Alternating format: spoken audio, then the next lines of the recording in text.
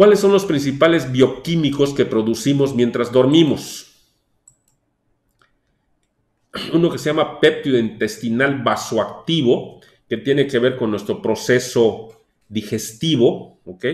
Así que el no dormir bien nos puede generar problemas de digestión, problemas de colon, a lo mejor alguna colitis, un colon irritable, cosas de esas, y a lo mejor es consecuencia del sueño. Y están conectados así, ¿eh? Yo en casos que tengo de, pacientes con problemas de colon y de sueño y todo lo demás, resulta que cuando empiezan a resolver los problemas del colon, eh, empiezan a dormir mejor. Y cuando duermen mejor, entonces su colon funciona mejor. Así que ahí está. Si no dormimos, pues tenemos ese déficit y vamos a tener problemas. Hormona de crecimiento. Algunas personas que tienen los recursos van con el médico para que les inyecten tal vez hormona de crecimiento y así retardar el envejecimiento. No les vaya a pasar como, como dice mi papá. Dice, cuando era yo joven no tenía dinero, pero sí podía disfrutar la vida, pero no lo hacía por falta de dinero. Eso es lo que él decía, no estoy de acuerdo, pero es lo que él decía. Y ahora que ya estoy viejo, ya tengo dinero, pero ya no puedo, ya no tengo juventud. Ahora el dinero lo utilizo para pagarle a los médicos para que me mantengan vivo. Así que dice, no entiendo muy bien la vida. Lo decía en broma, ¿no? Este, pero muchos así nos pasa, ¿eh? Ahí nos rompimos el alma produciendo dinero, negocios, empresas. Está bien, no les digo que no lo hagan.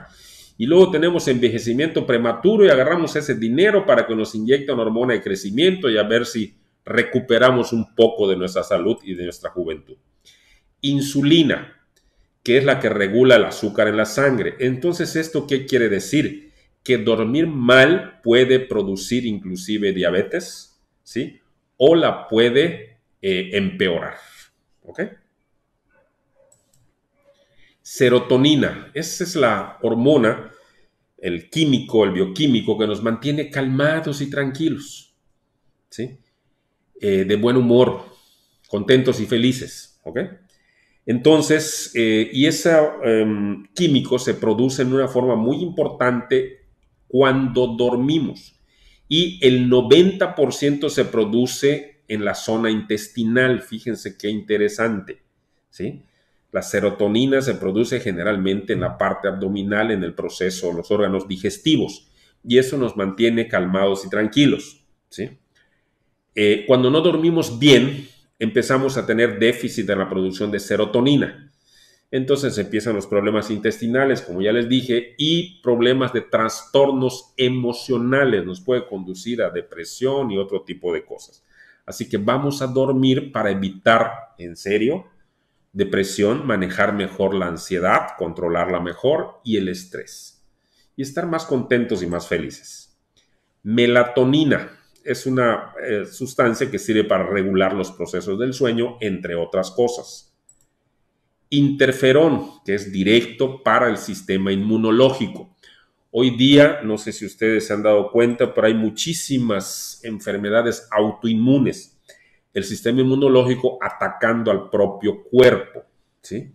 Y muchas veces el problema es que no hay una adecuada producción de interferón y esto se produce principalmente durante el sueño. Así que vamos a dormir bien para que nuestro sistema inmunológico funcione bien y no tengamos ese tipo de, de broncas, aparte de ser pues, vulnerables a todo tipo de enfermedades e infecciones.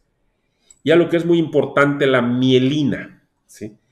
La mielina es una sustancia que sirve para recubrir las terminaciones de las, de las células y los nervios en lo general, el sistema nervioso en lo general. Todo el sistema nervioso son cables conductores de electricidad. Esos cables conductores de electricidad tienen un forro para evitar que hagan cortos circuitos. ¿sí? Cuando ese forro se pierde, empezamos a tener problemas, empezamos a tener a veces dolor en alguna parte, las personas diabéticas a veces les pasa eso, ¿sí? Eh, que les duele por acá y a vez no pueden dormir por, por, dolor en alguna parte del cuerpo, pero es en la piel, ¿sí? Son, es la mielina que se pierde, entonces vamos a decir que los cables quedan expuestos y el roce de tu sábana puede ser como si te pusieran chile o te pasaran un, algo caliente encima. Y no, es tu sábana. Pero ya tus terminaciones nerviosas están fallando porque no tienen mielina. ¿Ok? Y hay otro tipo de problemas también, eh, esclerosis y todo ese tipo de cosas ya más graves, que también son deficiencia de mielina. Cortos circuitos en el cerebro o en otras partes del, del cuerpo. ¿Ok? Así que vamos a dormir bien y suficiente para tener una adecuada producción de mielina y evitarnos esos problemas que luego ni sabemos de dónde vivo. Está raro, está raro. Siento caliente acá, siento que me quema por acá, siento que me arde acá, aquí en la parte esta de abajo de las, de las piernas. Me arde, me pongo mi, mi ropa, mi pantalón y en que está rozando, ay, me está doliendo, es horrible, ¿qué está pasando? Problemas con la mielina. ¿Ok? Este video es parte de una de nuestras pláticas gratuitas. Si te gustó, no olvides darle like, compartirlo y dejarnos tu comentario. Si quieres ver la plática completa, podrás encontrarla en la descripción de este video.